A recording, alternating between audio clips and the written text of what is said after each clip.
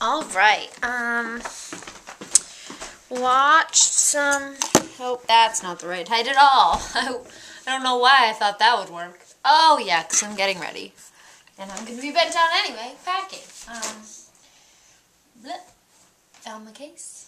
Um, watch some TV to just veg out, um, which was nice. I was gonna run a whole bunch of errands, but I don't I need my check from work, which I haven't gotten yet, so I obviously can't run errands, so I did not run errands, so instead I just hung out, which was fine.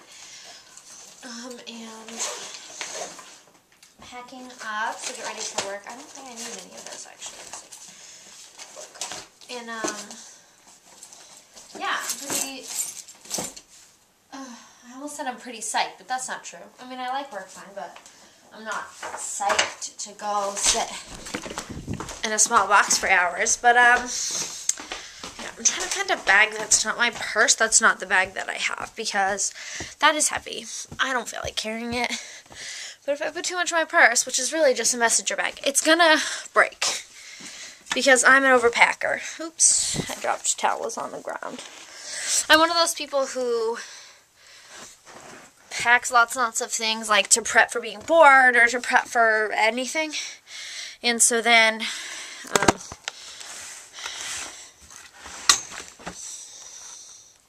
my bag's heavy. I can't. That's a light. I can't remember what I was trying to say. This is gonna be crazy. Probably can't use any of this. I literally just like need a bag. Look, great. Free Victoria's Secret bag. Wonderful. Perfect. Um, yeah.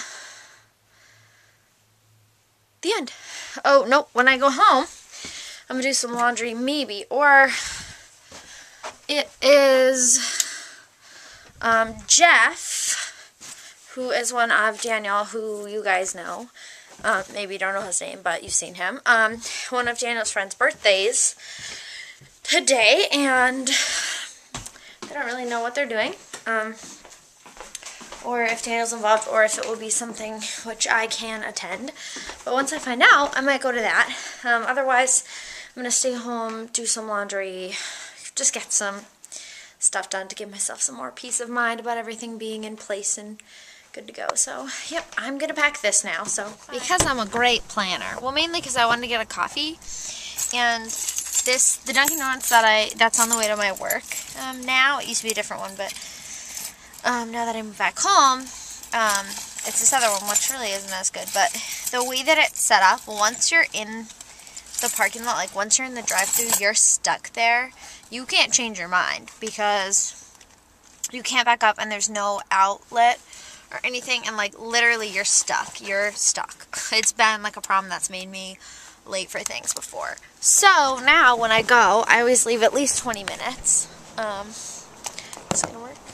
So I always leave at least 20 minutes so that I'm not going to be late for anything. Of course, now I have to go in my car. Oh, just got hit by the door. Anyway, um, and so, but now I'm, I left half an hour just in case, and now I'm like 20 minutes early for work. Which I mean is fine. Good work.